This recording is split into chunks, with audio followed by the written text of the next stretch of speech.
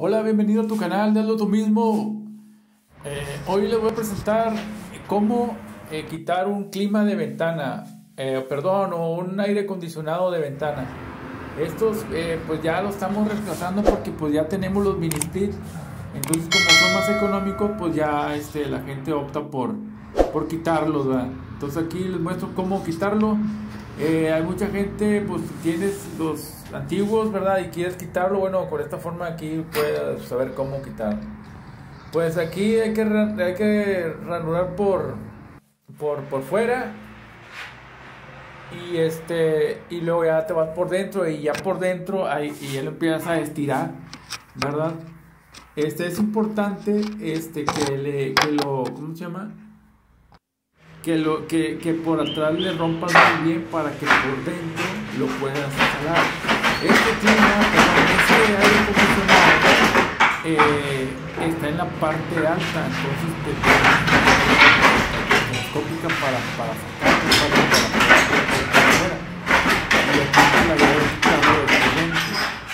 Es muy importante que lo quites por dentro, pues ya que por fuera pues, batalla mucho y puede caer. Se queda con cuidado, así como le estoy haciendo. Con mucho cuidado para que no te gane y se vaya por atrás ya, lo estamos este, quitando.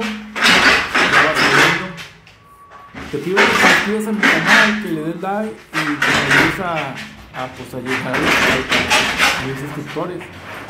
aquí ya, ya los bajamos. Eh, la verdad, este no está muy pesado, este, este ¿cómo se llama? Aire acondicionado.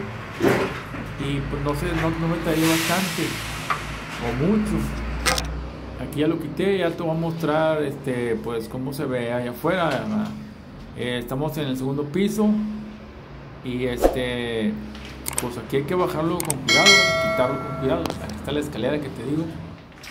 Y ahora hay que sigue poner los bloques. Aquí pues ocuparía nada más cinco bloques. Hay que poner la pastita, la mezcla, cemento y arena, arena 5 y luego ya este, poner los bloques, irlos poniendo. así como te muestro en el video. La verdad es muy fácil. Así pones mezclita aquí en uno de los lados de los blocks.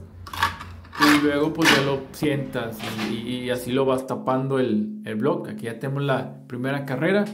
Entonces nos faltaría nada más la segunda y ya lo taparíamos. Hay que rellenar los huecos con mezcla. Lo que te queda alrededor le echas mezcla. Algo que debes saber aquí, pues yo conozco todos los materiales y gracias a Dios los puedo trabajar. En su mayoría, eh, todos, aquí ya lo puse yeso por dentro. Hay que tapar ese agujero que salió extra, hay que hacerlo y aquí está terminado por fuera. Gracias.